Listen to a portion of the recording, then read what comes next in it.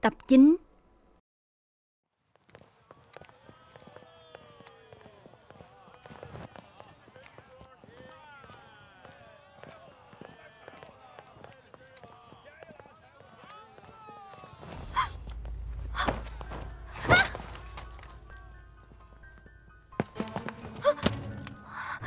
A Xuân Đại Hiệp Ta thật sự không làm được công việc này. Cô tìm người khác đi. Cô đã nói gì với người của Lý Phủ? Không có không có. Ta không nói gì cả. Thật chứ? Nếu ta thật sự nói rồi, Sao ta còn sống được tới bây giờ? Không, Ta không thù không quán với cô. Sao cô cứ bám lấy ta vậy? Cô có vẽ hay không? Ta Ta không vẽ Không vẽ Cô đừng quên lời ta từng nói với cô. Ta tha cô thêm một lần.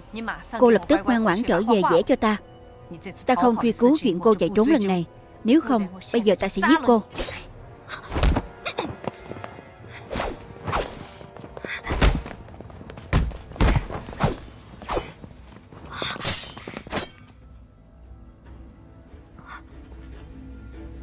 Ngài, Sao ngài lại tới?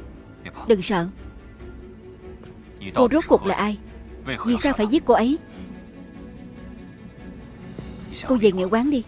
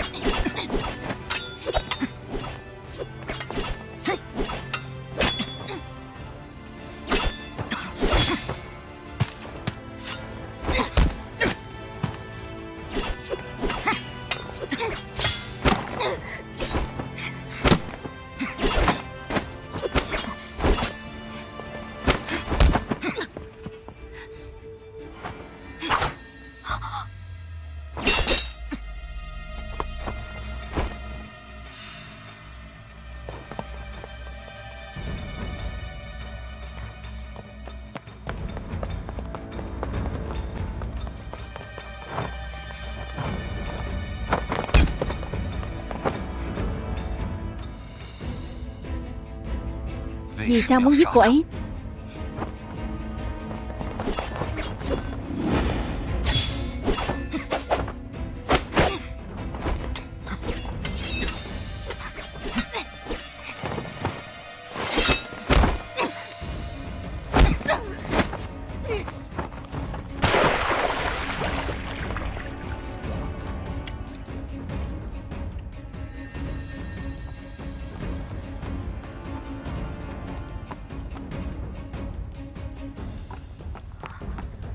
Ngài không sao chứ.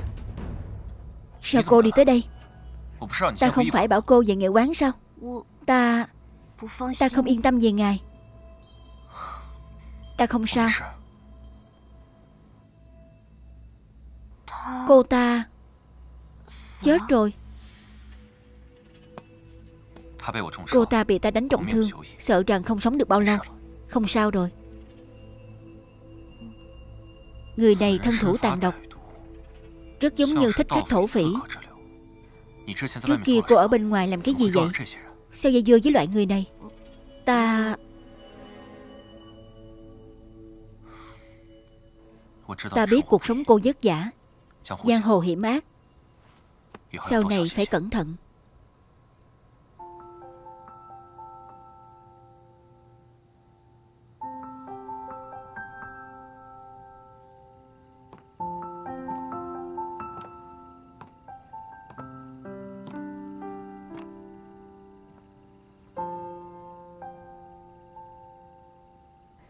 Vừa rồi Đa tạ ngài cứu ta.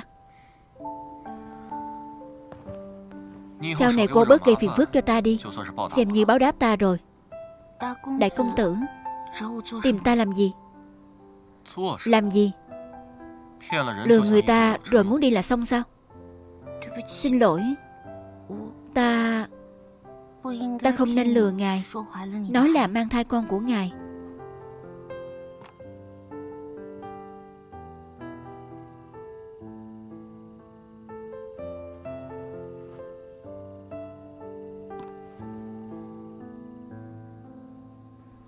Hùng Hy Nhược. Chúng ta thành thân đi.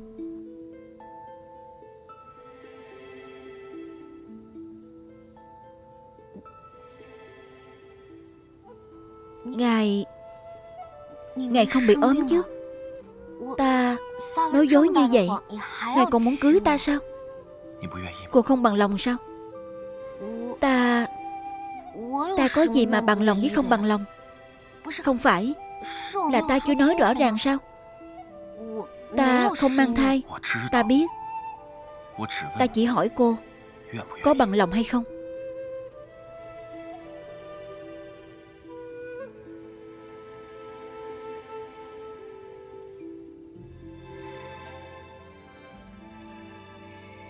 Có phải ở Lý Phủ Cô sống không vui vẻ không? Đương nhiên là không vui rồi Ta giống dĩ là nha đầu quê mùa ngoài chợ. Nơi hào môn quyền quý của các ngài. Sao ta có thể ở được?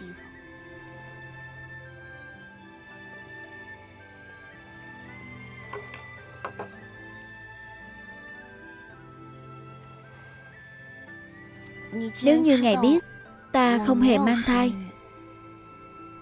Vì sao còn muốn cưới ta? Đương nhiên Đương nhiên là vì không cưới cô sẽ phải cưới Tống Tiểu Thư. So ra cưới cô. còn nhiều lợi hơn. Quả nhiên là vì cái này. Không thì sao? Ta cảm ơn ngài cứu ta. Nhưng mà Ta tuyệt đối không về thành thân với ngài Bởi vì ta không muốn tiếp tục nói dối. Cô nói dối chuyện tài đình như vậy Mà muốn dễ dàng bỏ trốn sao? Hồng Hy Nhược Có phải cô quá nghi thơ rồi không? Vậy ngài giết ta đi dù sao đây cũng là hậu quả ta đáng nhận. Ngài mau lên. Ta sợ đau. Cô đừng tưởng ta sẽ không làm. Đại công tử, Ta chỉ là Một nữ tử bình thường tầm phàm, Có đầy rẫy khắp đường khắp phố. Ta có ích gì với ngài chứ? Vì sao ngài nhất định phải cưới ta? Ta muốn khóa cô bên cạnh ta, Cả đời hầu hạ ta. Để cô phải trả giá vì lời nói dối đó. Có phải ngài bị điên rồi không? Được. Ta ngang cũng chết, Thẳng cũng chết, Nhưng ta chết phải có tôn nghiêm. Tóm lại, Ta tuyệt đối không về lý phủ với ngài. Cô đã nói dối chuyện tài trời với ta, Còn nói lý gì nữa? Ta vừa rồi đã xin lỗi rồi. Hùng Hy Nhược ta muốn tiền không có tiền, Muốn mạng chỉ có một, So với bị dày dò cả đời. Chẳng thà chết dứt khoát. Cô đừng tưởng ta vừa rồi cứu cô, Thì lúc này ta sẽ không giết cô. Được, Dù sao mạng của ta cũng là ngài cứu. Bây giờ trả lại ngài, Ra tay đi. Hùng Hy Nhược Chống đỡ, Đánh cược lần này. Tuyệt đối không thể lộ sơ hở. Ta cần một người chết làm gì? Ta biết là đại công tử. Còn nhớ cái này không? Ngài Ta đã sớm điều tra ra cô là quan hỷ tiên. Sở dĩ không tố giác cô Là vì niệm tình cô mang thai con ta. Nếu cô không cùng ta về thành thân Ta chỉ đành giao nó cho nha môn. Tội bàn tán sai lệch về quan triều đình. Đủ để tru di củ tộc. Một người làm một người chịu Ngài đừng kéo người nhà ta vào. Cô tự suy nghĩ rõ ràng đi theo ta về Thành lý thiếu phu nhân cao quý Hay là chết ở đây Kéo theo cả dân chiêu nghệ quán chết cùng。Lý Hoàng Bân Ngài quá đáng。Ngài tán tận lương tâm。Gã hay là không？Ta chỉ có cho cô 3 phút suy nghĩ。Ba Ngài đừng có dọa ta Ta không thèm làm thiếu phu nhân cao quý gì hết。Ta Ta không đi。Hai không được. Hồng Hy Nhược, Ngươi là người có tiết tháo. Một.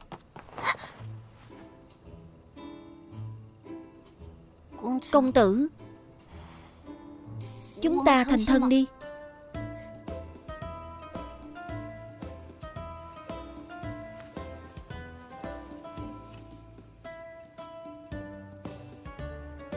Tự mình mang vào.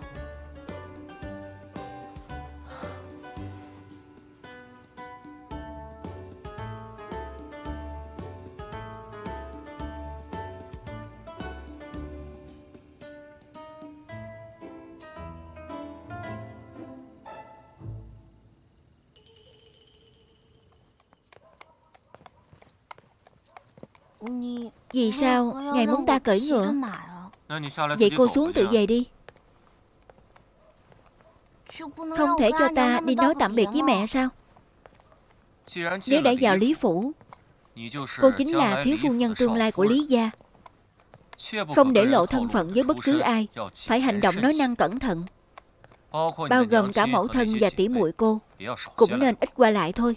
Nếu thực sự muốn gặp, Thì nói cho ta. Ta sắp xếp. Cái này Có khác gì bán thân làm nô. So với quán tháng Chẳng bằng nghĩ cách làm sao Che lấp lời nói dối trước đó. Phải làm sao che lấp？Nếu mặt trời mọc từ đằng Tây Vậy người mang thai giả như ta Cũng có thể sinh ra một đứa con cho ngài. Vậy phải xem cô nghĩ cách rồi。Ta có cách gì? Này Hay vậy đi. Chúng ta nhặt một đứa bé ở trên phố Vừa có thể nói dối, Lại có thể là một việc tốt. Sao có thể? Sao ta phải đi nhặt con nhà người khác về nuôi? Cô muốn làm việc tốt, Có hàng ngàn giãn cách. Sao có thể lấy quyết mạch nhà ta ra làm trò đùa? Không được thì không được. Không dữ làm gì? Ta cũng chẳng còn cách nào khác mà. Thực ra, Cũng không phải không có cách. Đúng không? Cách gì? Không được. Chúng ta chỉ là phu thê trên danh nghĩa. Hữu danh vô thực. Sau khi thành thân phải ngủ riêng Ngài, ngài đừng có mà nghĩ. Cô tốt nhất sớm nghĩ ra cách đi. Nếu để người khác phát hiện cô mang thai giả. Ta không cứu cô đâu. Ngài yên tâm đi. Đầu ta thông minh lắm. Tuyệt đối không lộ sơ hở. Tốt nhất là như vậy. Đi nào.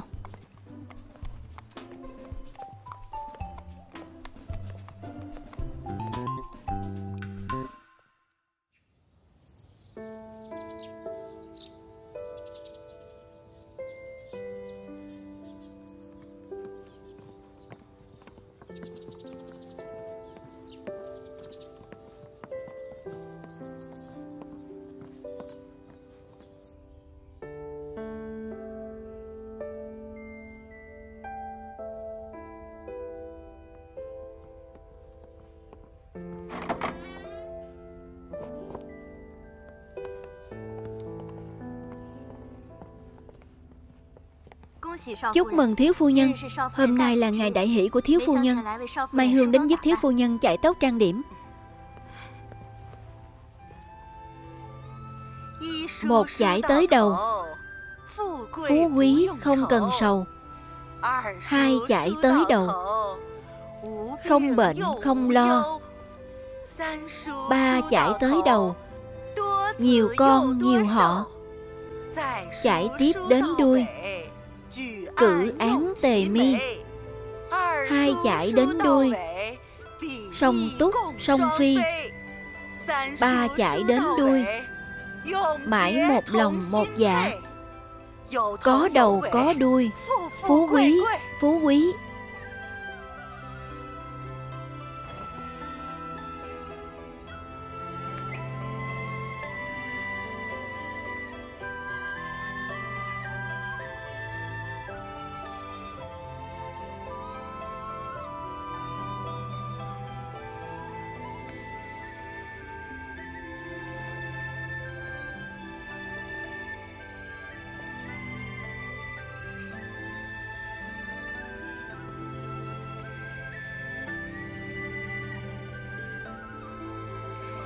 Chúc mừng công gia, phu nhân.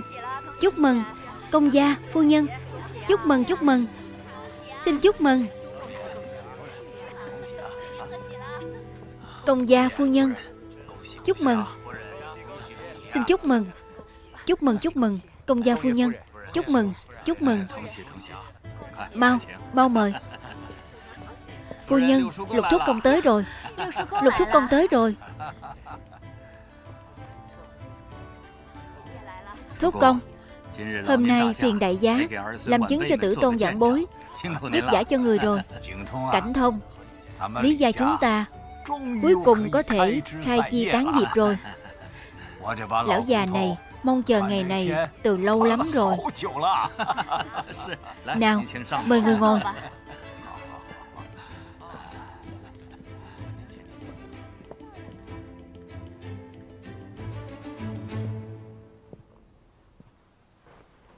đánh trống.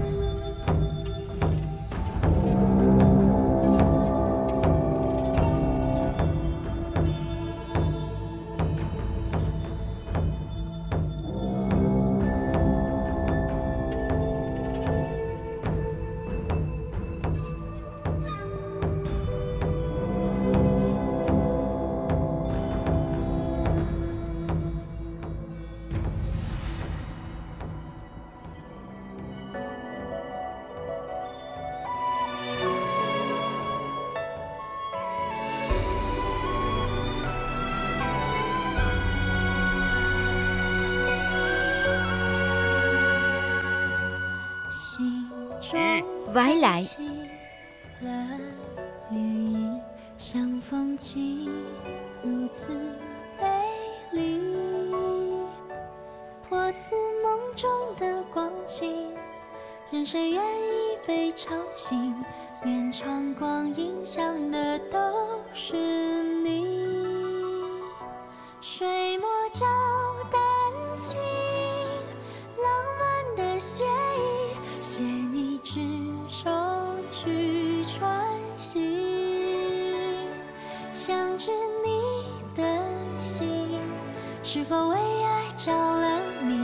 情已深长，不绝情。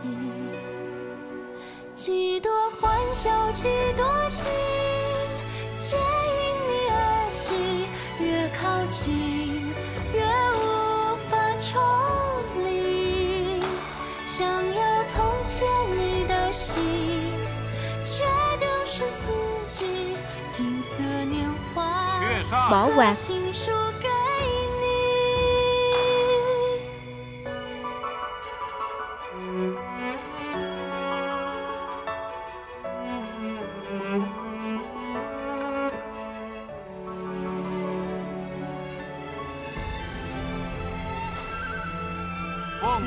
rửa tay.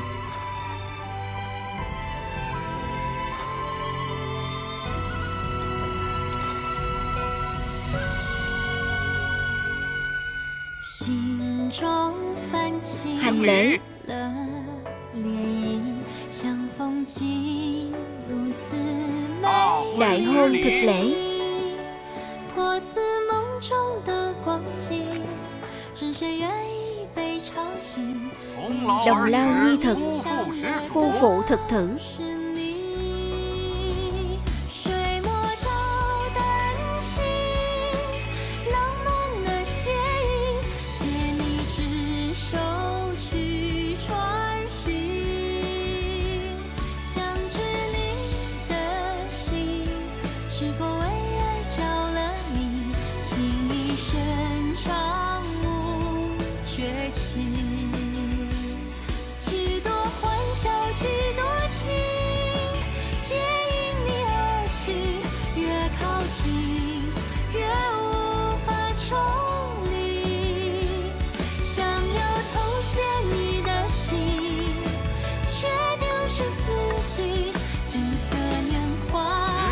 lễ tất. Uống.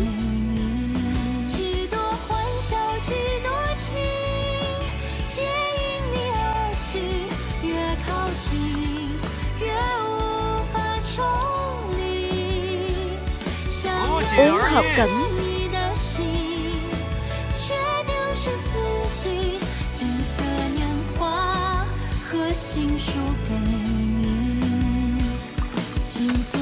心几多情皆因你而起越靠近越无法抽离。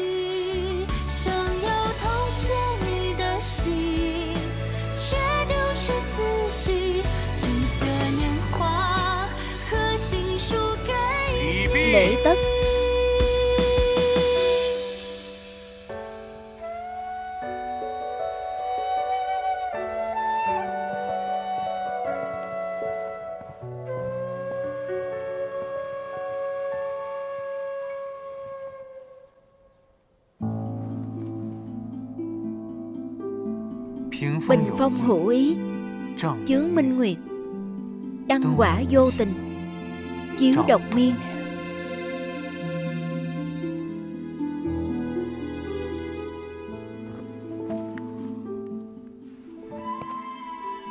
Tạm biệt. Hồng Hy Nhược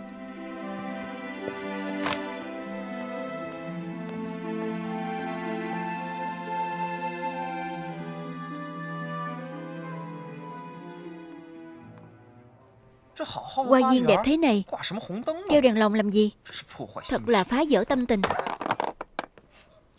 Tiểu thư Người đừng buồn nữa Cẩn thận khóc hại người。Ta cứ muốn khóc。Một nửa lừa đảo trèo cành cao Dựa vào đâu tất cả mọi người đều vui thay cô ta Ta phải khóc cho họ thấy。Nhưng bọn họ đang náo động phòng Trong viện chẳng còn một ai Nói hay lắm Dựa vào đâu tất cả mọi người đều phải vô cho cuộc hôn sự này. Ta là người đầu tiên không dự ý. Sao ngươi nghe lén ta nói chuyện? Ta còn chê cô ảnh hưởng đến sự thanh tĩnh của ta. Cái người này Sao hết lần này tới lần khác chọc tức ta vậy? Lý phủ trừ ta ra Ai cũng cung kính với ta. Nhưng có ích gì? Cháu trai lớn của ta vẫn đi cưới người khác thôi. Lý phủ các người thật quá đáng Bình thường thì đối với ta cung kính Nhưng bây giờ ta còn ở đây. Lại ở trước mặt ta làm hôn sự. Coi ta là người chết sao? Tiểu thư Trời đã hơi tối rồi. Chúng ta trở về đi.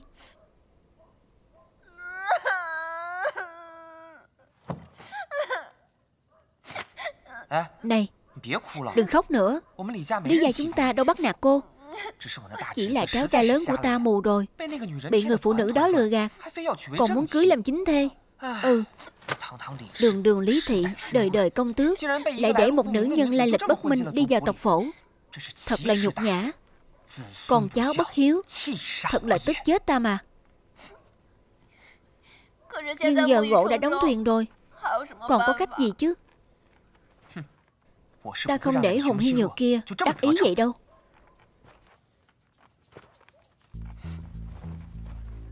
Ngươi muốn làm gì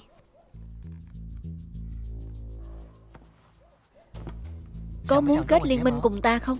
Cùng nhau lật đổ nữ nhân lừa đảo đó. Kết liên minh với ngươi.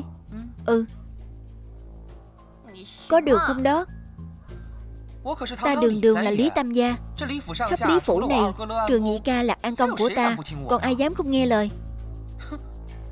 Ta không đối phó nổi Hùng Hy Nhược kia à? Hơn nữa Trừ ta ra Còn ai giúp cô xả cơn giận này Ta thấy cô đáng thương Nên mới dẫn theo. Không muốn liên minh. Thì thôi. Này đợi đã.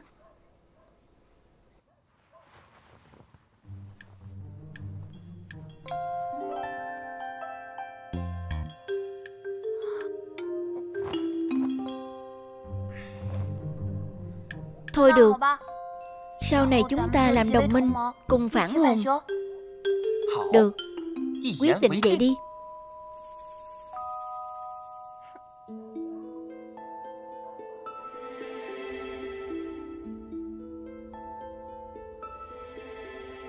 được thuyết minh bởi Iramat Washi TV Việt Nam.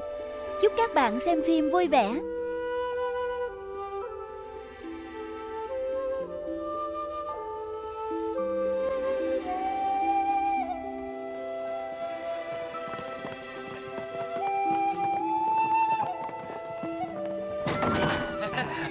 Mau lên mau lên. Tần nương không đợi nổi kìa. Đúng đó. Mau lên mau lên. Đợi gì đấy? Công tử. Mau đọc. Cướp phiến thi đi. Mau lên, mau đọc đi. Gió xuân và ánh trăng đoàn viên Phải để hoa đào nở trước. Sao vẫn chưa bỏ quạt xuống? Đúng đó. Tân Nương không muốn gả à? Đúng đấy. Chuyện gì đây? Xem nào. Làm sao vậy? Lý công tử, Bọn ta đang muốn nhìn lắm nè. Hồng Hiên Nhược, Bỏ quạt xuống. Bỏ xuống xem thử. Ôi, Đẹp thật. Đúng đấy. Đẹp tựa thiên tiên. Xinh quá. Ôm nào. Ôm nào. Ôm kìa. Ôm đi. Mà ôm đi. Ôm đi. Ôm đi. Các vị quan nhân Một khắc xuân tiêu đáng giá ngàn vàng Các vị quan nhân đi uống rượu đi ạ à. Để lại thời khắc tươi đẹp cho cặp đôi mới cưới. Dội gì chứ? Các vị Ta cùng các vị đi uống rượu. Nào nào Đi uống rượu Đi nào. Cảm ơn nhé Cáo từ. Đi thông thả.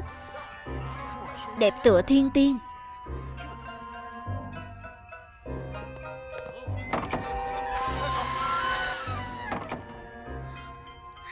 Ai cho cô uống rượu nhiều vậy hả? Hài lòng rồi chứ. Giờ ta gả cho ngài rồi. Dùng nhân duyên cả đời. Chuột lại một lời nói dối. Cô tưởng dễ dàng trả nợ vậy à? Vậy ngài còn muốn sao nữa? Ta nói rồi Ta cưới cô về chỉ là để cô biết Lừa gạt bản công tử sẽ có hậu quả thế nào?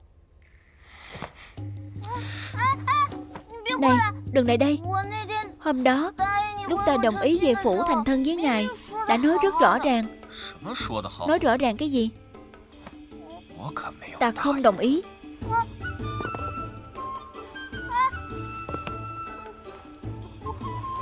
Ta tự làm được thôi.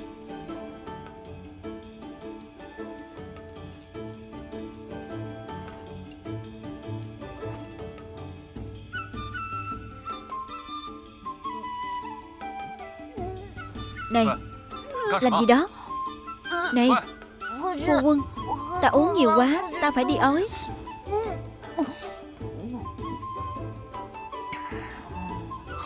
Còn muốn lừa ta Đâu có. Đại công tử, Ta biết lỗi rồi. Ta biết lỗi thật mà. Xin ngài tha cho ta đi. Xem như cô chưa rút được bài học. Biết nên làm sao chưa?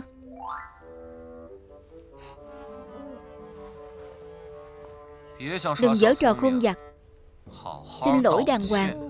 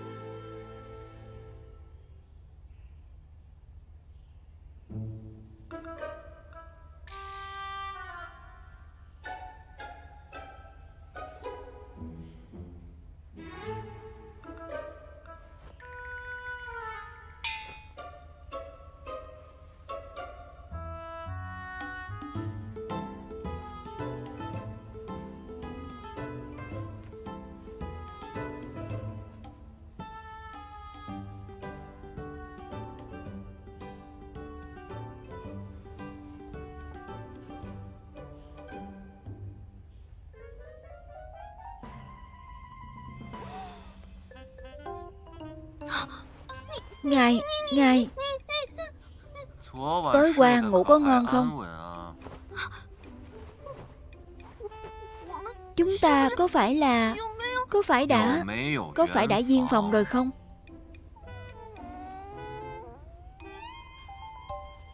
Ừ. Ta đường đường là nam tử Hán. Cô lại chủ động lao vào. Sao ta dám từ chối? Đại ma đầu Đúng là Một kẻ tiểu nhân vô sĩ dậu đổ bìm leo. Theo như cô nói, Thì ta nên chứng thực cái danh này. Hồng Hy Nhược, Ta nói cho mà biết, Giờ ta đường đường là thiếu phu nhân Lý Phủ, Ta không sợ ngài. Ngày mà qua đây, Ta sẽ giống như mẹ ta. Ta đánh. Này, qua đây. Không bắt được.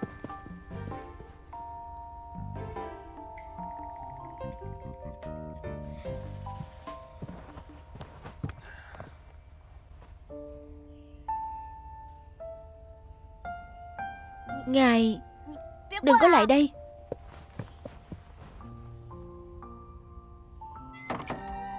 Đồ ma đầu. Chào thiếu phu nhân.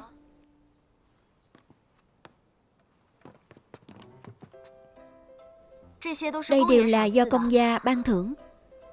Trăm cài vàng trân châu. Trăm bích ngọc. Bông tai phỉ thúy Trân châu cực phẩm Nam Dương. Ngọc như ý. Rồi có đủ loại kỳ trân dị bảo. Cấp 12 nguyên bảo.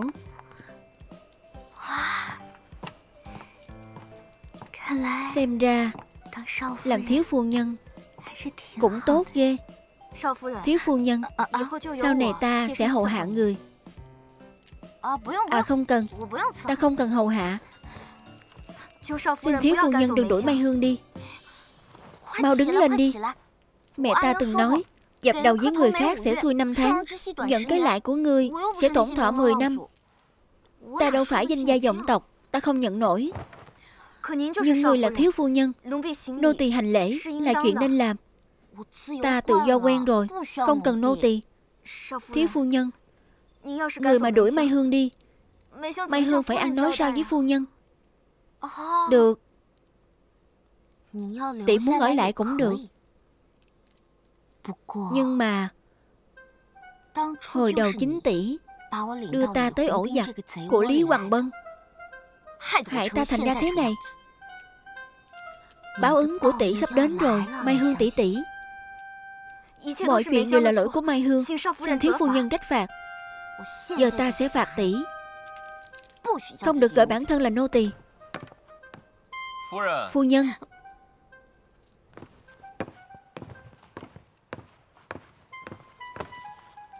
Phải đi rồi.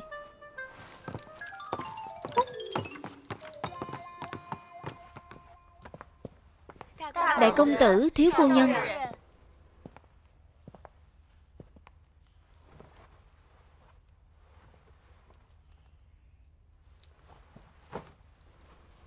Con dâu Xin kính chào phụ thân. Xin kính chào mẫu thân. Phụ thân Mẫu thân.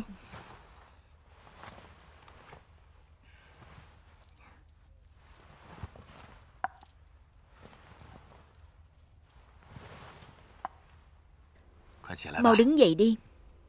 Dân.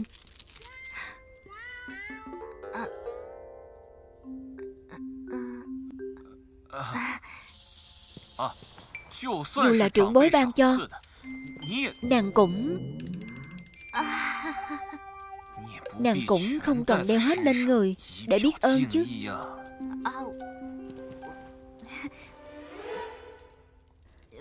Mong phụ thân Mẫu thân thông cảm. Dù hai người tặng gì Giảng bối cũng thích. Đều thấy đó là bảo bối quý giá nhất đời. Con dâu thật sự khó mà lựa chọn.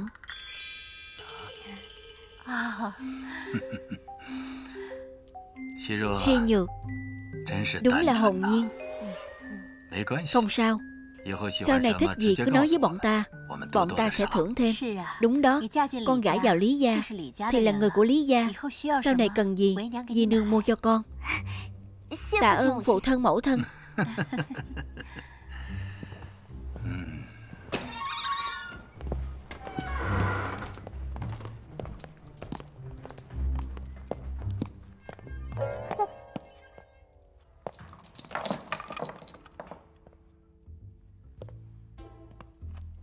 Rốt cuộc cô muốn ta giải dây cho cô mấy lần nữa đây. Rõ ràng là ngài đi dội quá. Sao ta biết được? Nhà giàu có lại lắm chuyện thế. Còn hại ta thành trò cười. Giờ còn trách ta. Giờ cô đã là thiếu phu nhân của Lý Phủ. Sau này tuân thủ bổn phận đi. Đừng gây phiền phức cho ta nữa. Thiếu phu nhân như ta còn chưa tuân thủ bổn phận sao? Ta tuân thủ Đến mức không phân biệt ngày đêm Tối qua ngài đã làm gì với ta? Hả? Ngài làm chuyện đó mà còn không xin lỗi. Ngài còn là con người không?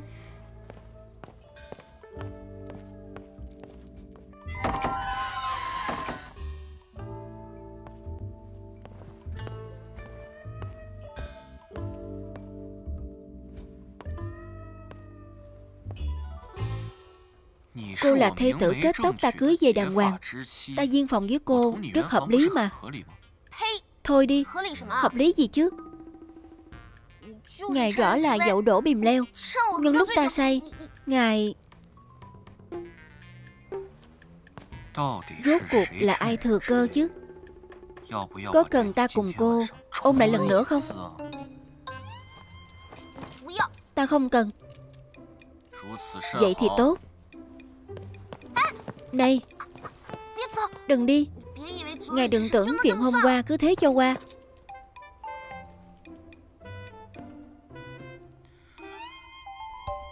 Thấy cô cứ bám dính không thôi. Sao hả?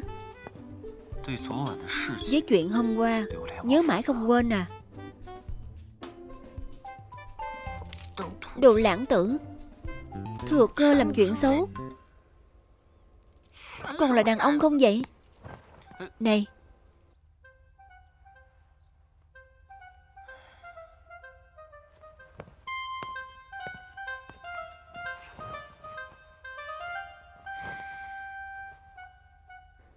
Này. Đừng nói là cô sai thật. Không nhớ gì hết nhé. Là sao? Tối qua Ta chẳng làm gì cô hết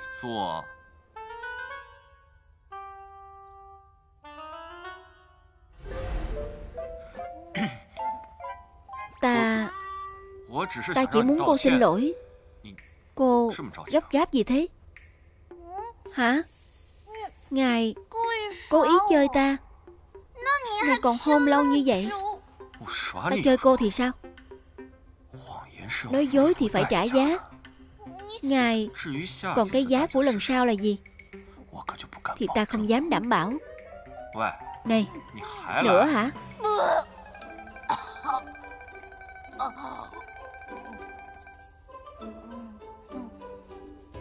Hùng Hy Nhược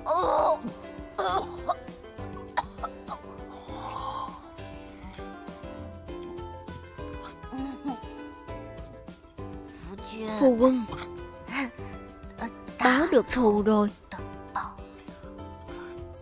A Mão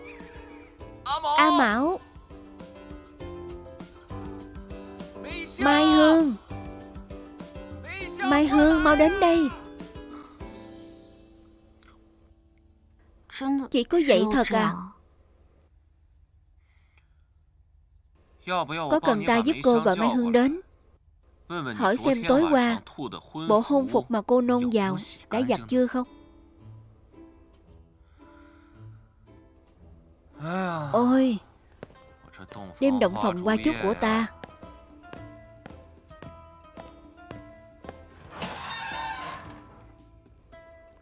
Đóng cửa đi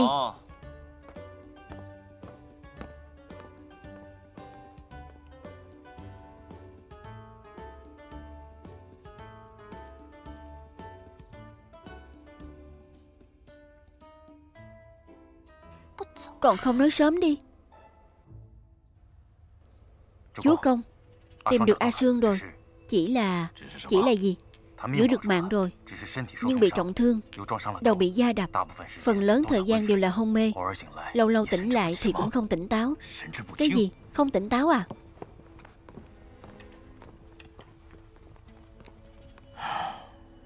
Gọi đại phu tới khám chưa? Rồi à? Đại phu nói E là cần thời gian điều dưỡng Mới khôi thần trí. Bây giờ Chỉ có cô ta mới liên lạc được với người dễ tranh lẻn vào Lý Phủ. Bất chấp mọi giá Phải chữa khỏi cho ta. Dân.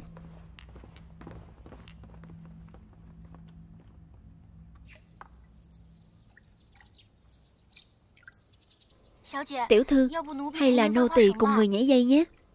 Không vui Vậy nô tỳ làm bánh táo người thích nhé. Không muốn ăn. Hay là chúng ta vào thành dân giao dạo chơi đi. Chán lắm.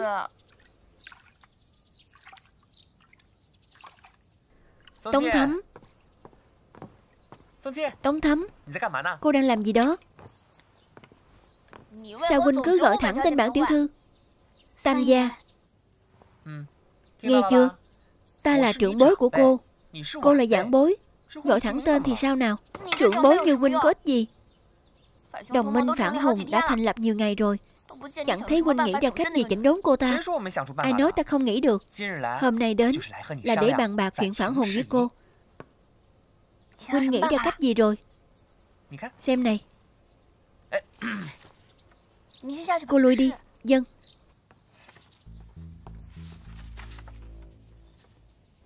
Dễ gì mà lung tung vậy?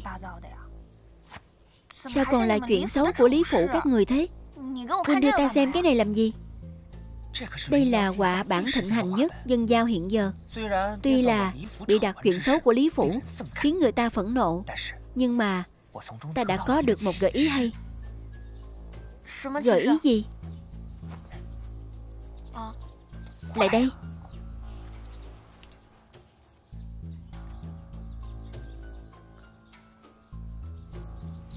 Ồ Thế nào? Ừ